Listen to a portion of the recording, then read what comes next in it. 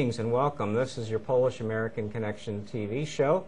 Uh, we hope you find the program interesting. I'm your host, Tom Gajewski. Uh, tonight we have a, a jam-packed show. We have a lot of information that we want to give you and some things we want to show you. And uh, we, we, again, we hope you enjoy it. And we want to give you the uh, usual reminders, and that is, first of all, that it's a two-way program. You're welcome to call in with your question or comment. The only thing we ask that you, when you do call in, that you state your question and give the person that you're directing it to an opportunity to respond. And the number to call in is 610-378-0426. 610-378-0426. And uh, also want to remind you to have a pencil and paper handy because we have a lot of announcements at the end about upcoming activities and you may want to make note of some of those things. So um, have that uh, conveniently available to you. Let me introduce you uh, to our guests tonight, our special guests. We have we're honored to have uh, the Honorable President of the uh, Polish American Heritage Association with us tonight. Now, she's been serving a number of years, uh, and that's Marilyn Wlazewski. That's my third year. Third year, yeah. And uh, she's not only president, but she serves in a number of capacities. She, she's uh, not afraid to get her hands dirty and get things done, and I know people appreciate it, Marilyn. So thank you for that. Thank you, Tom. And thank you for being here. You're welcome. And seated next to her is Ron Szurgot. And Ron is a contemporary artist. Ron is Polish, and uh, I uh, know uh, Ron's parents. He comes from very good, a very good family. Uh, he's a young, up-and-coming contemporary artist who is of Polish extraction. He was in the military, uh, specifically the Army, for 14 years, and he's done a number of other jobs as well and he's really had no formal training to become an artist, and uh, that make, will make for an interesting story in and of itself, I'm sure. So, without any uh, further ado, let me uh, go to. Uh, I'm going to I'm to start out by uh, going to Ron and asking him some some questions. So, Ron, can you can you tell us how you got interested in doing artwork? The interest really started in high school. I had a, a French teacher who introduced us to French Impressionist painting and that got my interest. And from there, I studied uh, further arts and art movements, and um, the uh, the interest grew from there. While I was a student in high school, I did a lot of graphic arts. I did posters for organizational activities, and after I got out of school, I continued doing that. I did that into uh, my time in the Army. I did things for the uh, parish activities. I did uh, logos for clubs that my wife was involved in, and I did uh, posters for school and other activities and that led into my finally getting into my personal art, what I considered signed art, mm -hmm. and I started uh, going down that pathway. Hmm. Okay, very good. And uh, you, you, have no formal training. Can you can you tell us about that? How how that's worked out for you? It, it's worked out very well. Um, I took one graphic arts course when I was in college. That's it as far as formal training goes. Um, as I started moving into the the idea of the signed art, I started working with pencil, then I went into watercolor, um, acrylic, other traditional mediums. And I had some success, but uh, still wasn't quite what I liked. Um, again, I was in the Army at the time, and I was uh, sent overseas to Augsburg, Germany. Our household goods were in storage, so when I was overseas, I went to the PX and bought some construction paper and started working with cut paper ideas. Mm -hmm. And from that, um, there's actually a piece in the show at the Goggle Works, one of the early pieces of the cut paper from 1992. Mm-hmm. And I started looking around the house, what else I had, and I started uh, painting with shoe polish. Mm. Being in the military, wow. I had shoe polish, and the PX had shoe polish, and I used the brown uh, wrapping paper that we'd send packages home in as the, the base for that so I could work larger. And that idea kind of took off and it was easy to work with that. It was also easy to store. I could roll them up, keep them in a tube, mm -hmm. and they were ready to go. I got out of the Army in 94, came back here to the States, and the first thing that came to my attention was the Berks Art Alliance members show, and or the juried show. And I decided to try my luck at putting a, a piece in the show, mm -hmm. and I put three of the shoe polish pieces in that first year, and one of them was actually selected.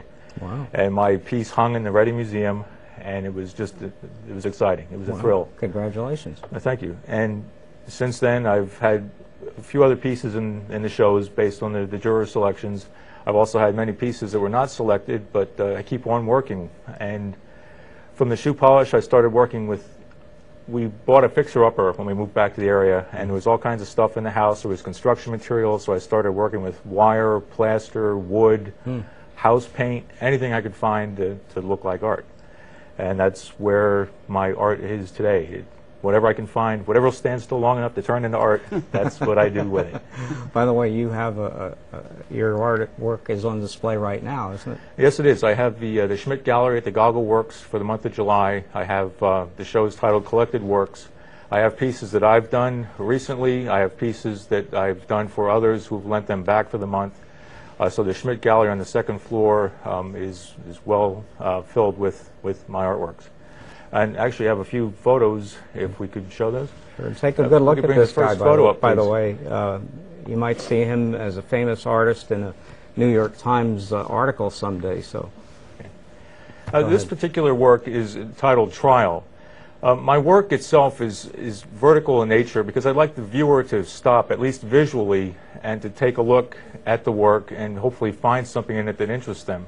And this is considered contemporary. This is art. considered contemporary art. Contemporary meaning of the time. So it, it uh, again, it's materials I can work with. The, uh, the idea with this one is it demonstrates that as we go through life, certain events can come up in our lives that, that darken it, that turn our lives upside down. We pretty much become consumed with what happens. But if we stay with it, it passes, we come back around, and we continue on our trip. Uh, this piece has also been referred to as floor tiles, which I can understand. Uh, can we see the next one, please? Uh, this piece is from 1997, and it's titled Phases. Um, in this particular piece, it, it demonstrates how, as we go through different phases in our life, we're really still the same person. It's just that our relative position in time changes. This is another one that's also referred to as balloons. So again, I can see that. And you really can't take yourself too seriously when, when you work like this. Uh, next piece, please. Uh, this piece is um, entitled Union. And this is one of the, I consider one of my most successful pieces. Uh, this one was designed on several levels. First of all, it was a wedding gift. So it symbolizes the, the coming together of two lives into a greater whole moving into the future but it was also designed with the idea that it would fit in a specific remodeled space in the couple's home. So if you can actually see this piece in its natural environment, if you will, it, it fits in beautifully into the, uh, the overall scheme of the room. And that's what, to me, is important with art, that it that actually be a part of the viewer's life, the owner's life, and not simply a decoration on the wall. And this piece is one of my largest pieces. It's uh, two feet by four feet. Uh, the, the panels themselves are cantilevered on that uh, wood band, and it's titled Boundless. The wire design itself um, exceeds the, the boundaries of those floating panels, and that wood panel itself actually precedes or exits the uh, black frame as well. So this piece is as much engineering as it is art, and uh, it, it gets difficult, something like this, to put together to get the pieces moving. And every time I get involved in a piece like this, I say to my wife, if I had any sense, I'd move to colored pencil. But after all these years, she knows it's not likely going to happen, at least not anytime soon. So that's it for the photos.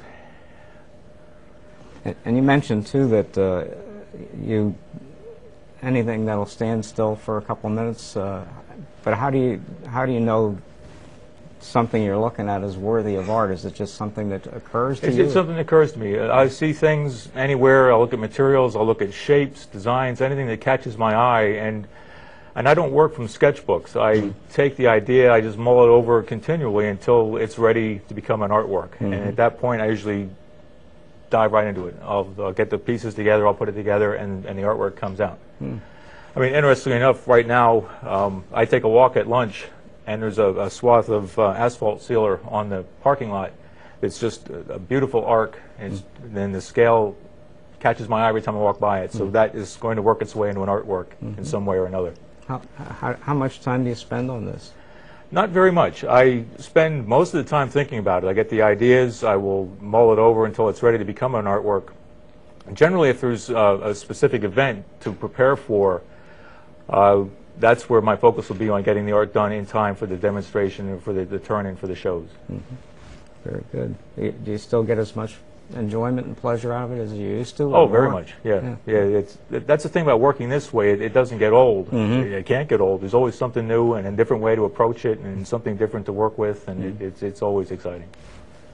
That's great. And it sounds like your work's really be get, uh, starting to become more recognized, too. I, I certainly hope it will. I, I know the years that I've been doing shows here in the area, the Ber- Berks Art Alliance in particular, the members have uh, recognized my work. They recognize me. It's a very supportive um, area here with the artists. And I, I hope to continue to grow in the area and, and hopefully beyond the area with recognition of my work.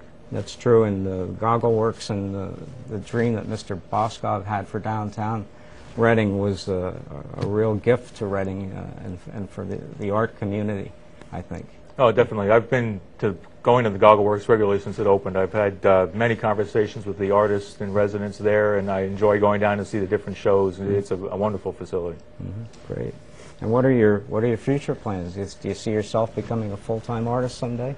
I'd, I'd certainly like to. Uh, immediate plans uh, to get pieces ready for the Berks Art Alliance juried show this month. Uh, the uh, submission date's the 23rd, so I'm going to have two pieces ready for that.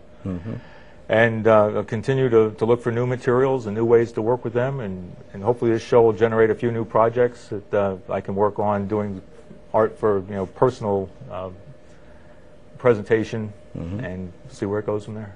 Do you have any idea how many pieces you've done over the years?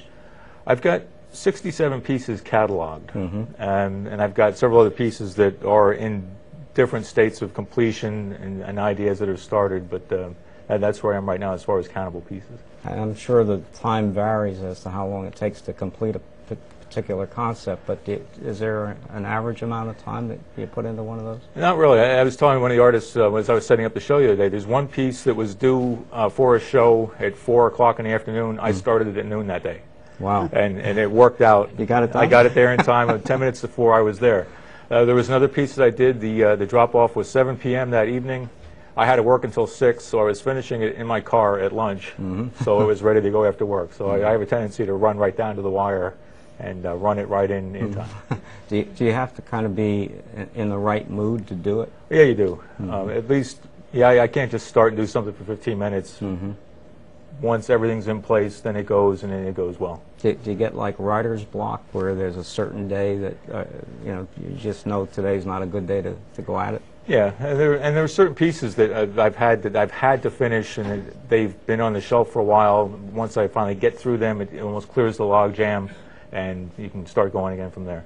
Can you remind everyone again about the, the, the, the display that's currently on and how long it's going to be? Okay, the uh, Be work, available. the show at the Goggle Works is uh, in the Cohen. I'm sorry, in the Schmidt Gallery on the second floor until it'll be going running through July 28th, and during the normal Goggle Works hours, it's available for display. Very good. Through July 28th? Correct. Very good. So we'd encourage you to get down there. Of course, that's at 2nd and Washington Street. So what we're going to do right now is uh, BCTV has some important announcements uh, they want to make. And uh, again, BCTV is supported in large part by, it, by its membership. And we encourage anyone watching, if you enjoy any of the programming, this one, this program or any of the programming on BCTV, become a member, support BCTV because it's getting tougher and tougher for them to do their job because they were getting more uh, government support in the past, and unfortunately, because of cutbacks, uh, that uh, is no longer the case. So, uh, if you're not a member and you enjoy any, any of the programming, uh, give it some consideration. With that, let's listen to BCTV. You're watching the Polish American Connection on bctv.org. Be informed, be involved, be a member. For membership information, go to www.bctv.org slash support slash membership. For other information on local heritage societies and local history, go to bctv.org. Okay, thank you, and uh, I'd like to thank uh, Ron Szurgot for being here today, and we appreciate you giving us your time, and we wish you well with your future artwork. Well, thank you very much. Okay. And uh, next we'll go to uh, a lady who really doesn't need any, any introduction on this program. She's been here a number of times.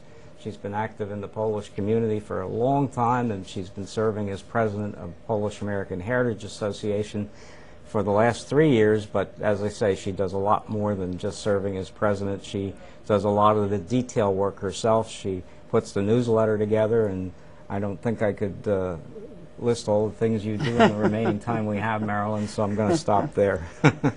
How about giving us a recap of some of the things that PAHA's been doing so Well, far? um, so far in 2012, we had our fourth annual Polish Open Golf Tournament, which was held at uh, the Green Acres uh, Golf Course in Bernville on May the 19th. We had uh, 62 golfers uh, join us. We had a beautiful weather. It was just perfect. Everybody had a good time.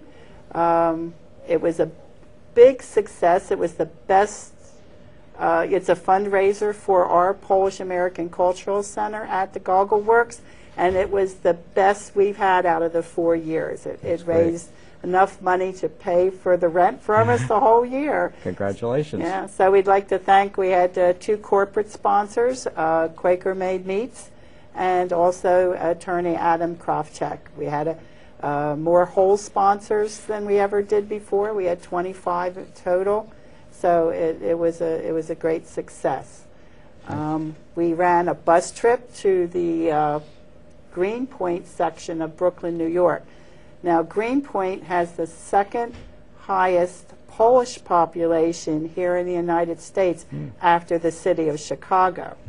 So when you go up there, you see, you run into, there's like Polish bakeries and Polish delis and, and uh, Polish meat markets and restaurants. And, you know, you'll be walking on the street and you'll hear Polish spoke, you know, being spoken. And so it's, it's kind of neat. Yeah. And you can bring, we, you know, people brought coolers on the bus and loaded up on that good kielbasa and, and uh, everybody had a really good time. We ran, we actually had uh, 50, I think 52 people um, on the bus, and everybody said they had a great time. When can we do it again?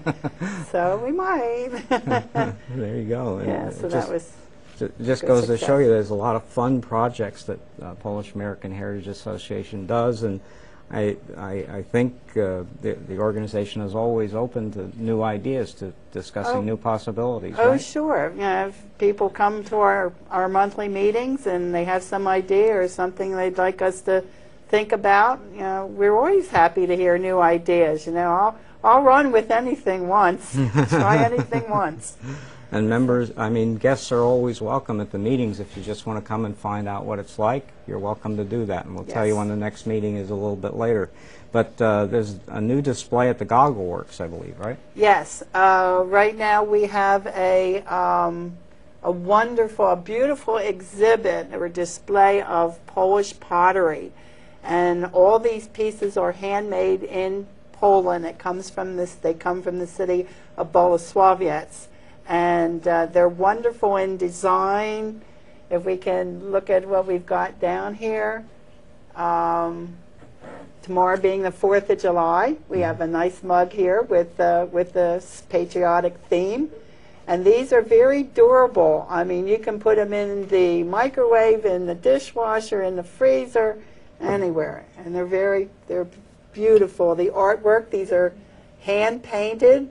They're actually, they use like these sponges that are actually, if I read this correctly, uh, from uh, dried sea sponges they use. And the artistry, and every piece is, as you can see, every piece is signed on the bottom by the artist. And uh, if you're looking for a really good piece of the pottery when you're shopping, just make sure on the on the sticker on the bottom that it says GAT G A T one, and that's the the the best quality that you can get. But we have over 154 pieces of pottery in the display with over 60 different patterns. And we are raffling, and this is a free raffle. All you got to do is come into the room, fill out a raffle ticket, stick it in our, our basket, and we're going to raffle off a piece of Polish pottery. Again, this is free. Uh, we'll go off, this. the display will run into October, I believe. So we'll raff, so we're going to raffle off the pottery in October. So like I said, please come visit us. Now, we are only open on weekends from 11 to 4. but we'd certainly like to see your friendly faces there. Okay, and that's on the fifth floor of the Goggle Works? Yes, it's room 509. Very good. Okay, and there's a picnic coming up, too. Yes, uh, our annual picnic will be held on uh, Sunday, July the 29th. Uh, It'll be down at the Lower Alsace uh, Fire Company uh, Picnic Grove uh, from 1 till we decide to leave. And uh, we have Moyer's Catering, and we have a a wonderful assortment of food. We have roasted chicken, barbecue spare ribs, pork barbecue, potato salad, macaroni salad, all kinds of things. And it's only like $12 for members and 17 for non-members. We have music. Jonathan Lumnichuk, who was just on the show not too long ago, he mm-hmm. usually serves as our DJ, mm-hmm. keeps things lively. Mm-hmm. And last year we had over 90 people attend.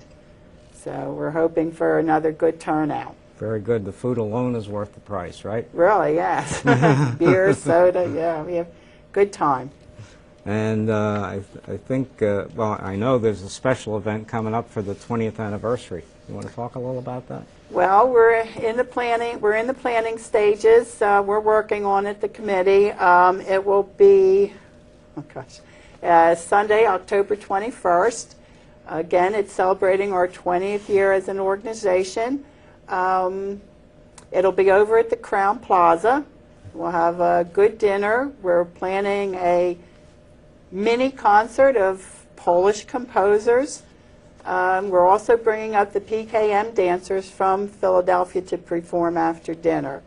Uh, so I think that'll be a, um, really something worthwhile to attend. So if everybody can join us and help us celebrate, that would be wonderful. And uh, this is really a special one. It's the 20th, and uh, I know also one of the things that will happen is a number of outstanding Polish American citizens will be recognized. Uh, yes, we will be doing that also. Great. So that's all included as part of the program that day. And, and again, uh, the, the uh, price of the ticket is probably justified by the food alone, but there'll be a lot of good entertainment to go along with it and guaranteed to have a good time. Um, Marilyn said she'll give uh, the money back personally if you don't know. no, but you will have a good time. Everyone has been good so far. So I want to thank both of you for being on You're welcome. and uh, we appreciate it and keep up the good work. And Marilyn, we, we hope uh, you can keep going. And I'll try. well, you, you do a good job, and it, it's appreciated. Okay, I'd like to uh, go to some of the things we have uh, coming up, but before I do, I want to just mention that Polish American Heritage Association has a, uh, um, a meeting on Wednesday, July 18th at 6 p.m. in room 325 of the Goggle Works. And again, that's open to uh, people who want to come in, guests who want to see what it's all about, and there is free parking uh, in the rear of the building. So now why don't we go to the upcoming things? The Polish uh, Cultural Room on the fifth floor. That's uh, what, what we've been talking about here a little earlier, uh, where the pottery display is, and that's at the Goggle Works, second in Washington Streets in Reading, and that's Saturday and Sundays from 11 to 4 and uh, it's free admission, no charge at all. The only thing they like to do is keep track of who comes in. They ask you to sign in, but you don't even have to do that. Polish American Heritage Association annual picnic. Uh, you heard Marilyn speak about that. That's on Sunday, July 29th in the Lower Alsace Fire Company on Roosevelt and Columbia Avenue, Stony Creek Mills. And there'll be, there actually won't be more information on this ne- ne- next month, except we might tell you uh, how it went. Polish American T-shirts. Uh, these are uh, available through our good friend Terry Frankowiak. Infant, child, adult sizes. Children are $9.95, adult $14.95, and uh, you can get in contact with him by visiting www.looseends.biz. Liederkranz is sponsor uh, at Spook Lane in Reading has polka or other music every Sunday from 1 to 4. It's free admission, free parking, and they do have plenty of good food and beer for sale. Evergreen Country Club on Harts Road off of Route 73 every Friday evening beginning uh, June 22nd, so this is already ongoing. Gates open at 5 p.m. Uh, polka and other music from 7 to 11 p.m. Free admission, free parking. Again, food, beer, soda, anything you want there, uh, they have it. Polish American Cultural Center, uh, Museum, Museum Exhibit Hall. This is in Philadelphia. 308 Walnut Street in Philadelphia. It's open 10 a.m. to 4 p.m. Monday through Saturday through December, free admission. And there's a phone number you can call if you want some additional details 215 922 1700. Polish American Connection TV show. This particular show is uh, on the first Tuesday of every month at 7:30, and then we have replays the following Friday at 1:30 p.m., following Monday at 10:30 a.m., and the following Tuesday at uh, 3:30 p.m. St. Stephen's. This is the biggie. You know, we were just talking about uh, coming into the summer season and all the activities, and you heard about some of them in the other announcements we, we made tonight. St. Stephen's has their big Polish picnic. This is uh, one of the this is the last one of the year. Polish National uh, St. Stephen's Polish National Catholic Church summer picnic at St. Benedict's Grove on Route 10 about 9 miles south of Reading on Sunday, August 23rd from 12 to 7 p.m. And this year they're featuring Lenny Gomulka and Chicago Push. And there'll be plenty of good Polish food, plenty of cold drinks, There'll be bingo and games, and uh, it's a great way to wind up the uh, summer picnic season. Polish American Heritage Association we want to remind you that uh, the 20th anniversary will be celebrated on Sunday, October 21st at the Crowne Plaza. You heard uh, Marilyn talk about that and why I'm missing, and uh, there'll be more about that as the shows go on in the future like to just uh, personally, on a personal note, say thank you to everyone who extended sympathy and condolence to my family in the passing of my mother. I appreciate that very much. And I want to thank our guests tonight um, for being here and contributing to the program. I hope it made for an interesting program for you. Um, we thank you for watching. Without you, this couldn't be a successful program. And uh, we, we wish you well until the next, uh, the first Tuesday of next month. God bless you. Take care and always be proud to be Polish.